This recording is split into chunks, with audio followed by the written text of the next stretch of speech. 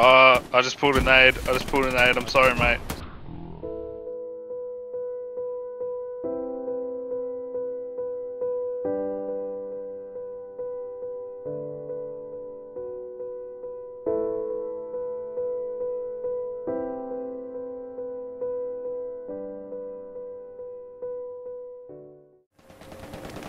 Uh, sorry to be uh, sorry to be rude, but you suck dick?